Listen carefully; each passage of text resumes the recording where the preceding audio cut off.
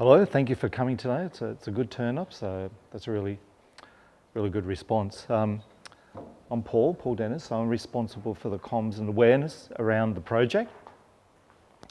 Where do we start? Uh, before we go on to the Gate to Gate app, uh, Snap Send Solve.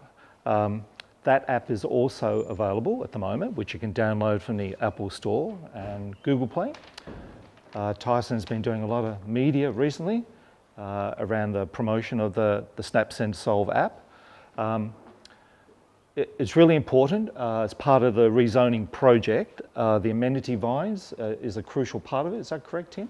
In, uh, spotting the amenity vines. So spread the word about Snap Send Solve get as many people in the area to download the app as possible and uh, take, take those photos of uh, the non-decorative, non-decorative or non-commercial vines. So I just wanted to reinforce that me message about the Snap Send Solve. Um, Probably just to, to, to, say that Snap Send Solve is as simple as a, um, a camera function app. Mm. If you see amenity vine at a restaurant, let's say, that's on the Mornington Peninsula, you've got the app downloaded on your phone, you simply, and it's as simple as this, take a photo of, open the app, take a photo of the vine, scroll down on a list, find AgVic as the list you want to send it to, hit AgVic, done. And you've registered an amenity vine, veranda vine, whatever you want to call them, on the peninsula that they will then come and serve up. So it's really simple, easy mm. to uh, and what we did with the Snap Send Solve app it's a very common app and it's used by many local councils around Victoria and a lot of big department um, uh, supermarkets and department stores. So they've lost their trolleys uh, or there's a, a, an overgrown sort of weed in the area for local government.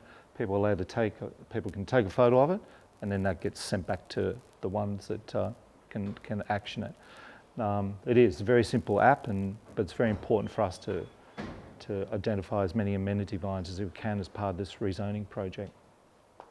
Uh, now, before I go on to the Phylloxera Gate to Gate app, um, I've left everyone a little show bag there. Uh, in it is a just a booklet, like a how-to guide for good farm, farm gate to farm gate uh, biosecurity. I encourage everyone to have a look at that. Also have uh, fact sheets. fact sheets are taken from the, the guide so if you want to keep the guide in the car or hand out fact sheets to anyone, that's your choice. Um, I've also got the fact sheets available in other languages. So if, if anyone would like that, um, let me know and I can get those, uh, get those, some copies to the MPVA and then we can distribute those if you contract staff. I think I've got Thai, Khmer, uh, a few other languages, uh, Vietnamese. So they're available as well, but I didn't put them in there today. Okay, the Gate to Gate app. Um, today we are officially, unofficially launching the app. So as Tim correctly said before, you're kind of my last step before we uh, publicly release the app. So, uh, like Tim said, if you find any bugs, if you have any questions that we haven't spotted, we're lucky enough to have Simon over there. Simon's the creator of the app for us. Um, I'm going to give everyone a couple of days. If you have any questions, if you find something in there that you think doesn't fulfill what you need, let us know. Let the MPVA know. Let uh, Tyson or Cheryl. They'll feed back to us, and then we can quickly uh, update the app. We're planning to go live into the app stores uh, by the end of this week. Um, and then we'll kind of do the official official launch, the public launch. So it'll be available to everyone. Um, we know that I've had contact from South Australia. They're keen to see the app, uh, the Yarra Valley and other areas around Victoria. So, but you're my you're my testing ground. So please use it. Okay, the app. So has everyone got the app? No. Who has and who hasn't? So we know where we're at. Haven't or have? Have. Have. have okay. Um, I think an email link was sent out from the MPVA last Friday. Uh, this is a phone app, so you need to open it on the phone. Don't download it from your PC. Um, it won't work. Is that correct, Simon? iPad, yeah, iPad. Yeah, oh, iPad. Yeah, iPad or smartphone. Yeah. Um, uh, it, so how many you've got it actually now, so we know how many? Okay, all right, it's enough to do some demonstrations. Unfortunately, my technology failed me today. I was hoping to mirror what I've got on my phone up to here, but um, we may not be able to do that. For those who haven't got it, uh, after the, the front page, it gives you a menu. Um, and I won't walk amongst everyone because I'll get out of camera shot. Uh, simple menu. And I'm just going to swap my glasses, sorry. Age has caught up with me. So just on the menu, uh, about the app, uh, the phylloxera zones. So sorry for this. So that gives you a description of where the phylloxera zones around Victoria. Go back to the menu. Uh, definitions of what a PIZ, PZ, PIZ tells you a little bit about phylloxera and stop the spread about good biosecurity, farm gate biosecurity. Everyone can, sorry about the um, small screen. Um, then we go into the different host phylloxera materials, uh, grapes, um, marc and unfiltered juice, vines, cuttings and table grapes, samples, germplasm and equipment. So to give you an example of equipment as well. Soil, contacts at the end. So they're kind of the major areas that will be problematic in your situation. So you visit a, a nursery in Monbulk. So we know that's a, a PRZ and you want to buy some potted grapevines. So we go potted grapevines. We go back to our menu, potted grapevines. And we want to move from a PRZ, and you're now a PZ for coming in. PRZ to PEZ, he says. Prohibited. That kind of gives you an idea of how it works. And that says potted vines are prohibited from entering PZ from a POZ. Do you want me to do that again? Was that? So we'll go back. So we're going from a PRZ into the Mornington, which is a PZ, PRZ to PZ, prohibited. And that's kind of, that's how simple it is. Um, we go to another one. We're moving a tractor from a vineyard in the Yarra, uh, Yarra Glen, so PIZ, so it's a tractor. Scroll down, go to equipment. And we're going to move from a PIZ to a PEZ. PIZ to PEZ. And are the requirements, shows you requirements for moving that equipment. And that's kind of what you see up there is what you see here. Stop me if you've got any questions. I'll go back. We're going to move a hand sprayer. So again, we'll go to equipment. And we're going to move from a PIZ PZ. Again, that shows you what's required. So setting up a contract to purchase wine grapes from the Warragul region. Wine grapes. So we go to the menu, wine grapes. And we're moving from a PRZ, PZ. Again, there's, the, there's the uh, requirements.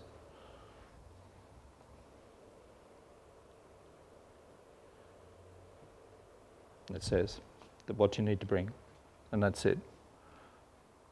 It's really that simple.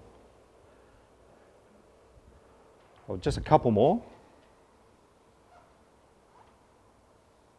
So, a harvester from the Nagambie. So we go back to equipment again. Nagambie is a PIZ. And we're moving into PZ. Now again, that shows you the, what's required. All very simple, only a couple of steps. You know exactly what you need to do to move, to move your equipment, and or host phylloxera materials. Um, just a couple more. Uh, supply grapes to the Mordialloc area. So that's wine grapes. So we go to wine grapes. And so we're going to go PRZ to PRZ. I've got to remember which way we go sometimes. so PZ, PRZ going out, so PRZ to PRZ. No requirements. Next scenario, uh, contract staff. So I've had a question, does the app answer that? No, the app does not answer that, but the booklets that I've provided in the, the, uh, the show bag does, which is all about just good farm gate biosecurity. So I urge everyone to download the app from the link that's now available. Um, if you can't, let us know if there's any reason that you're not. But as Simon said, it just could be security settings on your phone to allow it to go through. And but hopefully by the end of the, this week or early next week, it'll be commercially available through the app stores. So as it's been explained to me, um, it's compliance. There are no excuses. It's the same as going over 0.05, speeding. There are now biosecurity obligations that you have to fulfill. We believe the app is a great way for you to fulfill those obligations. So please download MPVA website, another website, the Victorian Viticultural Biosecurity website, the VVBC website, that's got great information. Um, my plan next year is to turn the VVBC's website into an information portal um, that'll have everything to do about phylloxera, viticulture, viticulture biosecurity, uh, soil types, genotypes of the phylloxera, which ones interact with which, so that's coming for next year. Further development, the gate-to-gate app. So there's some really good tools becoming available to help everyone here practice good biosecurity. And, and I've been doing a good deal of social research amongst wine growers around Victoria. Um, part of my job at, for um, AgVic is to get a better understanding of kind of the attitudes and behaviours of growers around Victoria towards phylloxera management, aka good biosecurity management. And my research around Victoria has shown three things of how phylloxera gets transported, gets um, transferred from one property to another. People, equipment, and complacency. They are the three key factors. And I think hopefully the app is one of those things that will help you overcome the complacency that's there in front of you. All the information you need to move phylloxera host material there in the app. If it's not, let us know and it'll go on the app. Um, good farm, bake, uh, farm gate biosecurity, which is in the booklets, and dealing with people is a big part of that. That's what all my research shows. The, particularly people movement, uh, contractors, picking staff. That's the great Achilles heel. But so much information out there now available. It's kind of uh, almost no excuses. Um, we've made some really good uh, videos that are available on the AgVic uh, YouTube site. What is good practice with uh, on-farm biosecurity? We made the videos in the Yarra Valley. Um, the great demonstrations about what you can do uh, to, imp- to improve your biosecurity. Um, so they're freely available. Yeah, they're up there now if you need to know any information.